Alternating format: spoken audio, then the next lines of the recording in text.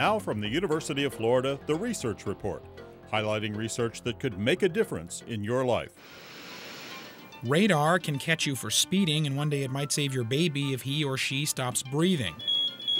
University of Florida engineers have developed a new system that uses radar technology to assess a person's vital signs from a few feet away.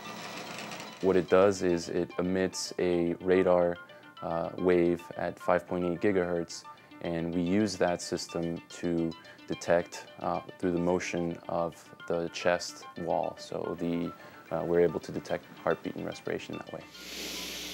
Gabriel Reyes is part of the team that's developing the sensor. You might find it on a crib one day, tracking a baby's heart rate and breathing. For now, the sensor has a limit of about six feet. What we wanted to do was take uh, a different approach and use the radar technology that we're developing here at the lab to um, take it to the next level and really be able to uh, know whether the baby stops breathing or just stops moving.